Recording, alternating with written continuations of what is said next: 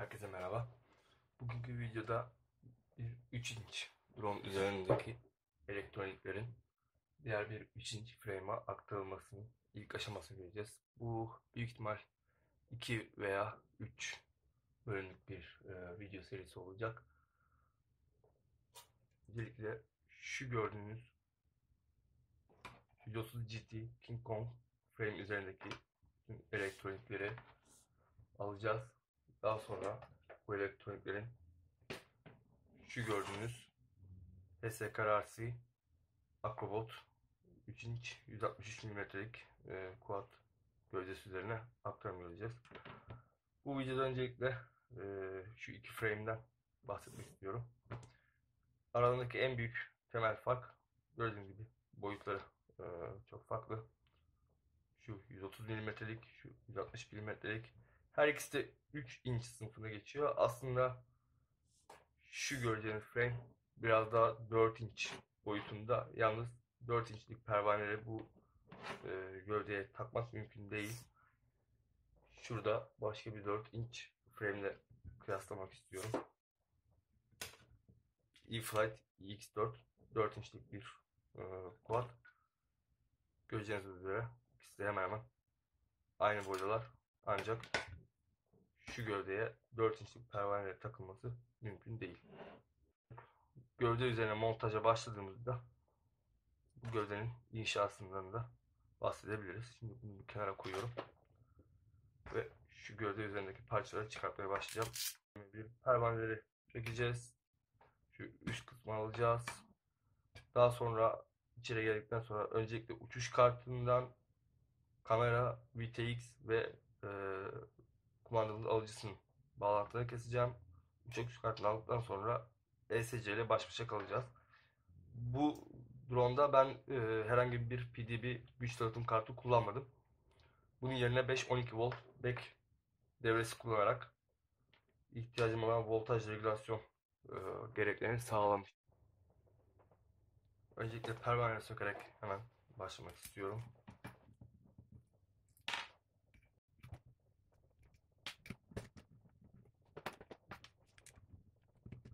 Gövde üzerinde 4 adet de var. Şu üst plaka tamamen benim başka bir gövdedeki bir 3 milimlik karbondan keserek yaptığım bir parça orijinal gövde parçası değil.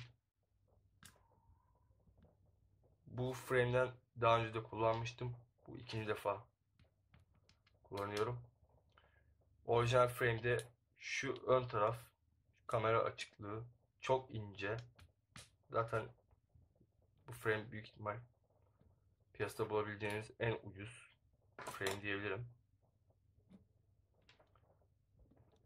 İlk bu frame'i kullandığım drone'da burası kırılmıştı. O yüzden ben hiç kullanmadan direkt bu üst plakayı değiştirdim. Şöyle bir teksi ayıralım.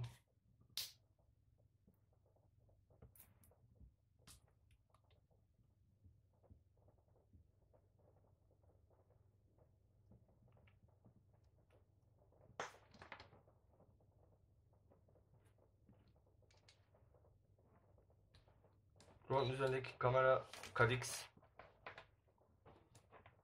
Turbo Micro F2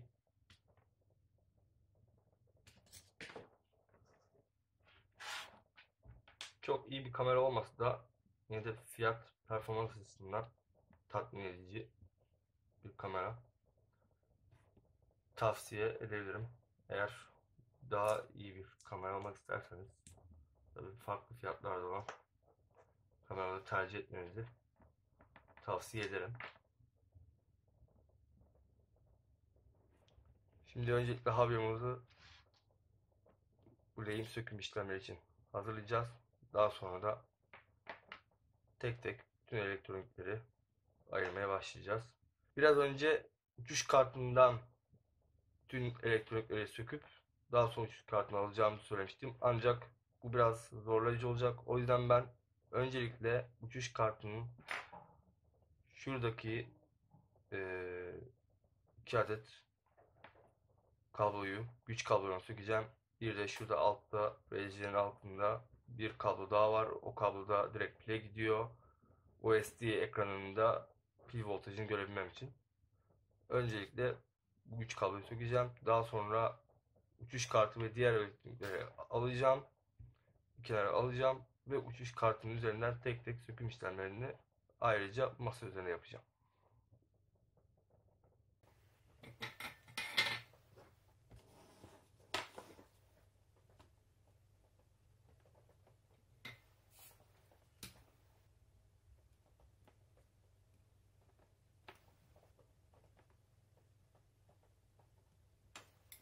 Şu kabloyu aldık.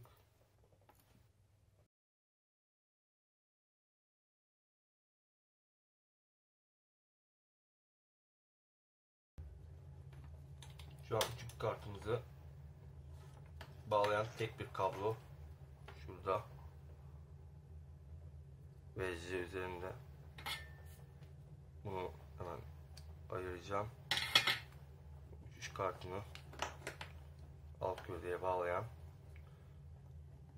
Ee, evet tabii ki unuttuk. ESC'nin motor bağlantıları. Tabii onları görene kadar benim de aklıma gelmedi. Şöyle 4 tane daha kablomuz var ayırmamız gereken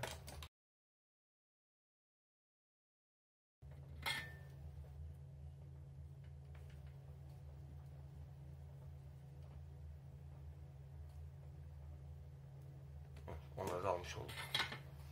Böylelikle şu an uçuş kartı VTX radyo alıcısı tamamen gövdeden ayrılmış oldu. Gördüğünüz üzerinde ESC, motorlar, kamera hiçbir bağlantısı yok. Kamerayı da çok kolay sökebiliriz.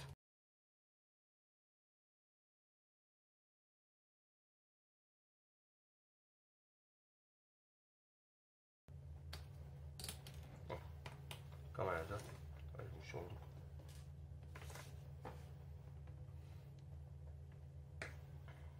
Bu gövde 30.5 30.5 vida mesafesine sahip bir gövde. Benim kullandığım SC gördüğünüz üzere 20-20 küçük bir SC. O yüzden ben bir modifikasyon daha yapmam gerekti. Şu alttaki plaka, karbon plakayı kendim kestim. Gövdeyi birazdan göreceksiniz. Altındaki deliklerden geçirerek ESC'yi sabitlemiş oldum.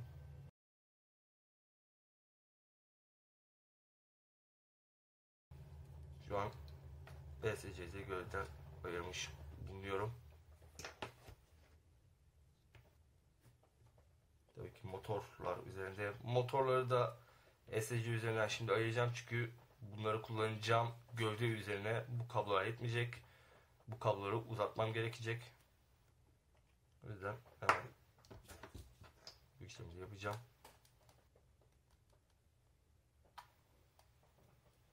Her zaman olduğu gibi lehim sökmede mutlaka pasta kullanın arkadaşlar. Hem yapacağınız işçiliğin daha temiz olması sağlayacaktır hem de daha kolay bir işlem yapmanızı sağlayacaktır.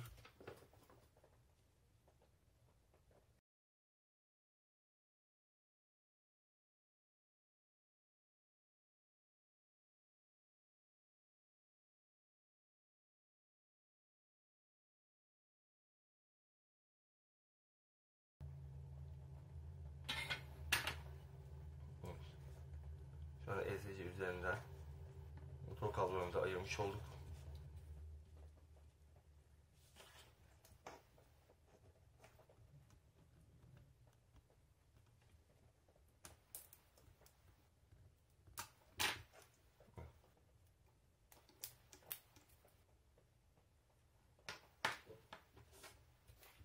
Şu an gördüğünüz üzere sadece motorlar kaldı.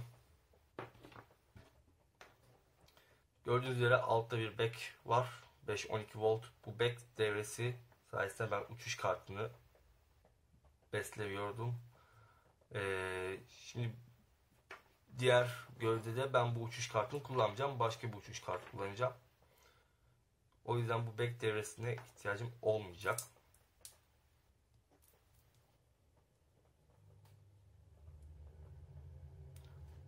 ESC üzerindeki diğer kabloları da temizlemek istiyorum. Burada biraz fazla lehim olduğu için o yüzden daha çok pasta koydum.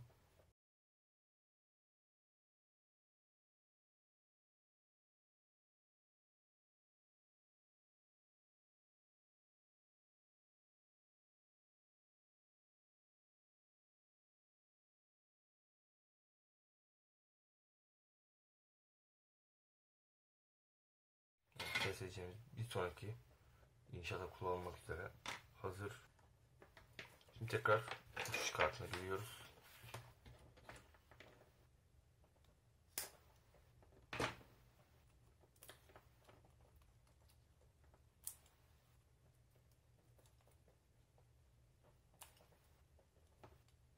Buradan geçmiyor.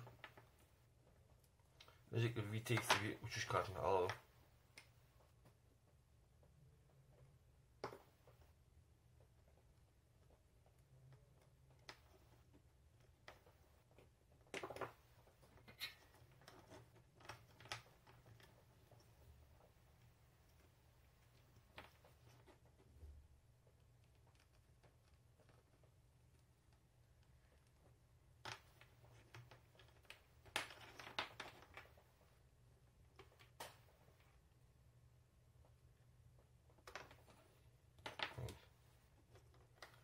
Kameramız için gerekli olacak.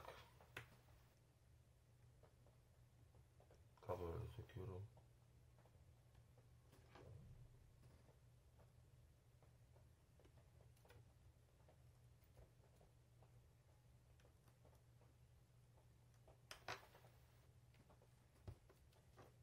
Sonra alıcımız Radyolink kumanda kullanıyorum arkadaşlar. Radyolink AT 9S kumanda kullanıyorum. O yüzden alıcılarım Radyolink alıcılar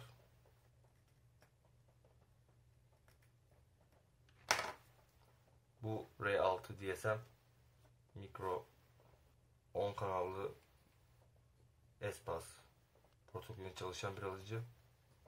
Şöyle diğer üzerinden geçerek temizleme. Evet, uçuş kartı Matek F405 STD standart. Dördüncü nesil F4 uçuş kartı. Ben şu ana kadar 3 tane drone'da kullandım. Bu üçüncüsüydü. Üzerinde buzzer var. Buzzer basit bir buzzer bu şekilde duruyor. Şu an bu şekilde durabilir. VTX 03. Ancak bunun bir sonraki versiyonu olan VTX 03S almanızı öneriyorum. Çünkü S modelinde hem pit mod hem de e, smart audio özelliği var. Bu özellikler ne derseniz pit mod sayesinde VTX'in çıkış gücü quad arm olana kadar 0.01 mW'da kalıyor ve de ısınma sorunlarında özellikle bench testlerde, masaüstü yaptığınız testlerde sahada uçuş öncesi hazırlıklarda ısınmasını engelliyor.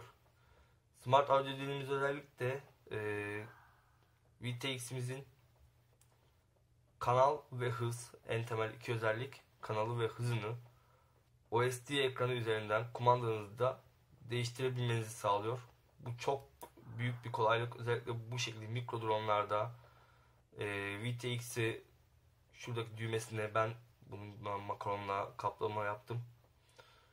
VTX'in düğmesine ulaşma, erişme gibi e, sorunları yaşayabiliyorsunuz.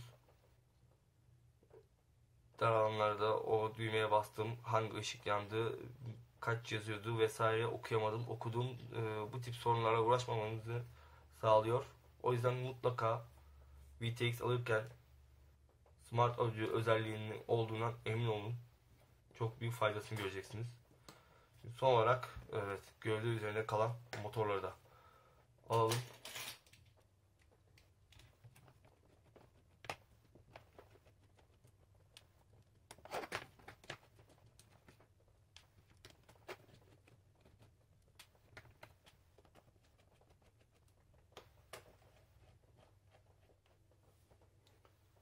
Evet arkadaşlar şu an motorları komple sökmüş durumdayım. Gövde üzerinde hiçbir elektronik kalmadı.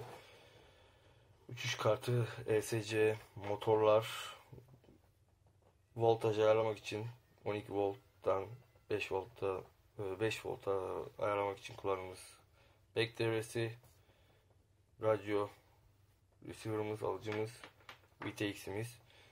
Bir sonraki videoda bu serinin ikinci videosunda bu elektronikleri şu 3 iç frame üzerine yerleştirilmesi göreceğiz. Buradaki tek fark şu olacak. Bu uçuş kartını değil başka bir uçuş kartını e, kullanacağız.